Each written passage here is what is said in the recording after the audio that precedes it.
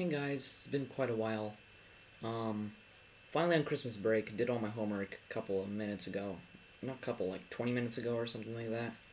Um, finally on holiday break, and uh, I'm finally making a video, I guess. And um, here's something railroad related, unlike all my fluid animations and all that stuff. Um, we have a classic L and N signal, I think from the early 70s. This is, except for the motor bell, I think this is a 50s based on UP, King. Uh, sorry for the mispronunciation. I'm not really good right now uh, at pronouncing. Um, anyways, here we have an L&W base. Uh, I think these are still made today, but this is like much wider. Like this this base is not even accurate. This was made in like this was made in like two minutes. This is like inaccurate. So pretty big base. Uh, the screws are okay, but need more detail and all that stuff. But it's pretty good base for two minutes. Um, we have a Wabco slash Union Switch and Signal division bracket. They did actually make a division once because uh, I have these uh, Wabco slash Union Switch and Signal division um, brackets all over uh, where I live on the local BNSF line. They have a lot of these, but signals are slowly getting replaced. But there's one particular area is keeping them. Even though one of the bells is like completely dead, they still haven't replaced it. And all the working bells have been replaced with uh, GS Type 3 electronic bells. I find that weird. Anyways, here we have these uh, knockoff SafeTran lights. These don't even look like SafeTrans. I just tried to make these. These were like, I made these as quick as possible.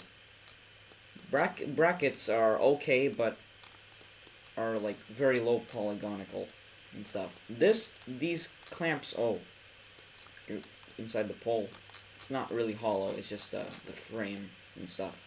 Uh, not the frame, uh, I don't know how to say it. But anyways, these were pretty hard to make. Um, this, um, yeah, like I said, this was kind of hard to make. Um, took about 20 minutes to figure it out. It's not really even, as you can see. Uh, still need to work on that. Like I said, this was made in 9 hours. No, I haven't said that. This was made in 9 hours. Um, so, the whole uh, thing is pretty good for 9 hours. But I need to put some reflectors inside so it looks even better. Anyways, here's the crossbuck. have these clamps again. These were made in like 2 minutes. So, I don't know. I don't know. I didn't, I didn't even try. I was so tired to that point. And last but not least, uh, I've been working on this belt for about uh, a couple days, and I uh, just decided to stick a box on the back to make it a WRS motor bell. It really isn't one, though, because the, it has a latch and bevel issues right here. Um, I do not know how to fix that. I'm going to ask my friend, though, who knows Blender. And um, the box basically goes through the bell, as you can see. But the gong, I think it's thin. Is the gong thin? Yeah, it's, it's thinned out alright. Bolt's not there yet. To like, I think if I auto smooth, that should, that, that looks a lot better, okay. So we have the rain shield over here, very simple. It's meant to look like a WRS bell, but like I said, the latch is not here based on UP King. Like, he made a video about his uh, WRS motor bell. Try to make this to look as similar as possible, but this was gonna, originally going to be a Western Cullen Hayes, but I just slapped a box on the back, and uh, I need to fix this. Anyways, uh, y'all have been waiting for me to turn on the signal, so let's do that. It's pretty realistic otherwise than the flashing, you know. The flashing is a bit off. As you can see, this light fades really quickly, and these ones are like it's okay, but the loop isn't perfect. And there's also lighting issues, you can see. It does reflect, and this look pretty good. Oh, never mind. It doesn't look good. Um, it shines through the back, but like I said, this is made in 9 hours, so... Favorite part is these tilted lights. They look so amazing. I just love the angle. The brackets are, like, really long, so... Anyways, I haven't added sound to the bell. And uh, I should make a relay box next. What do you guys think? What should I make next in uh, Blender?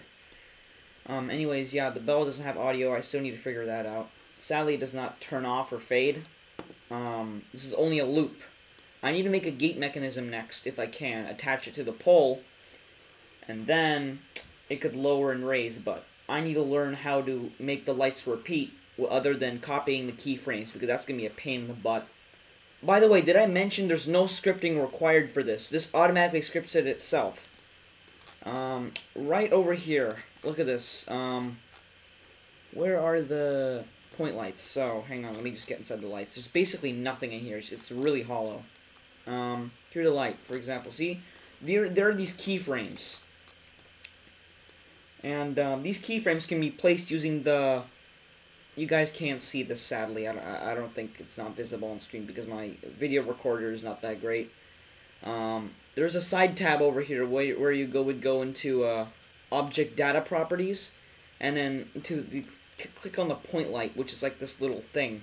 You can like you add it by like going like this light and then point light sun. I'm using point light for now. You can adjust the color, power, and wattage. For example, you see these keyframes here. If I like, you know, see it's going on. Th these two turn it on and this the, these two turn it off. So it's basically like a loop. For example, if I uh like move this like this, for example, look. See, these will not sync as well. However, if I put it like this, these are syncing again. Syncing, sorry. Uh, these are relaying again. Um, this signal is just pretty random, but I enjoyed making this, and let me know what else I should make. I have one more project to show you guys. Um, it involves construction. Mm, let's open the Okay, let's save this. Um, let's go to, um, where was it? Barricade. Yeah, here we go. Um, some construction barricades I made. The, this, uh, these lighting properties, these are not that great, but look at this. This is just amazing. Full realism right here. The reflectors, I, I sadly do not have textures, but this is, this looks really realistic. It reflects off the metal and stuff. Like I said, I need to add textures. This was the, my first light light uh, operation and stuff, like, you know. These are Mutual Industries barricade lights. I just found the manual online, and then I just copied the thing. I could just make a really quick construction cone right now, just for y'all. Um, I just grab this, mesh, cube, you know, all that good stuff. I can scale it down like this.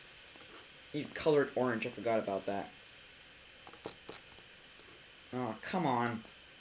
I'm trying to make it as quickly as possible so don't occupy the video by talking a lot.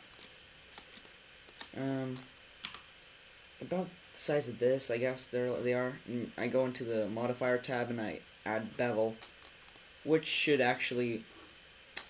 Darn it, I need light, I need light. Um, let's turn on the light real quick. Um, where is it? Hmm. Okay, we do not have light, I guess. Um, let me add one real quick. Um, sun.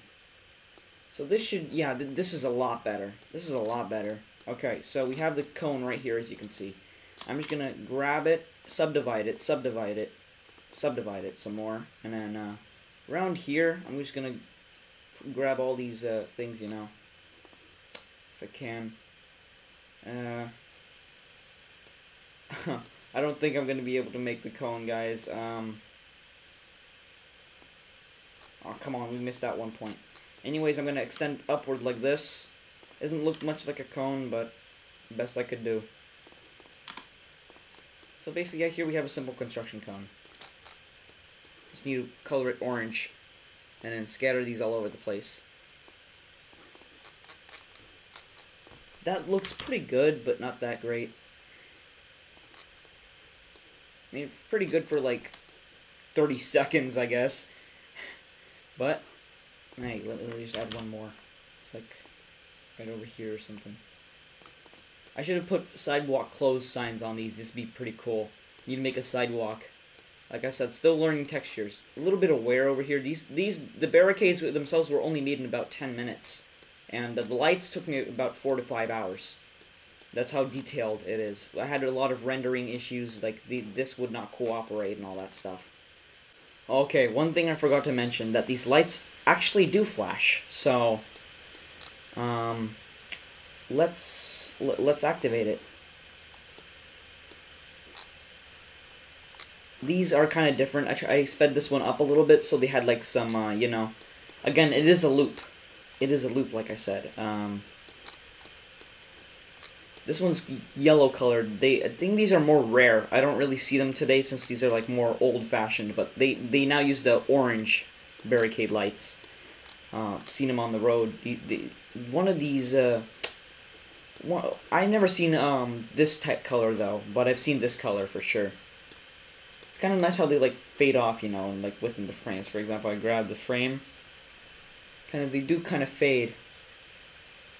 The lights do fade off a little bit, just just a little bit, not that much. See? Kind of does fade. Anyways, thank you guys so much for watching this video, and I'll see you in the next one. Bye bye.